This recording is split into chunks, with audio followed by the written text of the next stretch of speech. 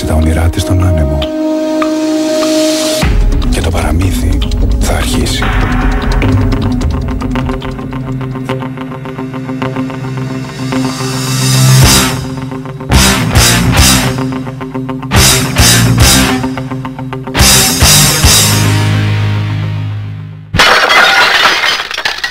Δεν έχουμε να φοβηθούμε τίποτα.